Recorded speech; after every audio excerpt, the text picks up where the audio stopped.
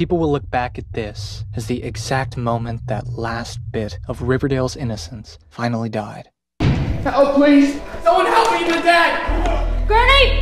What happened to him? He was, he was shot. Arch. Came out of the bathroom and there was this man wearing this hood with a gun on Pop Tate, and then he pointed it at my dad and fired. And then he. And then he what? For a moment, it looked like you were about to say something about the hood guy, and you reconsidered. Really? Part of what makes you so endearing is your utter lack of a poker face. Me and my dad were witnesses, Pop Tate, too.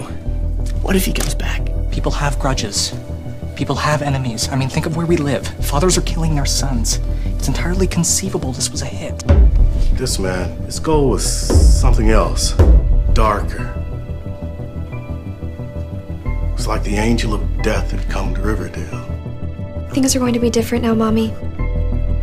Better. You'll see.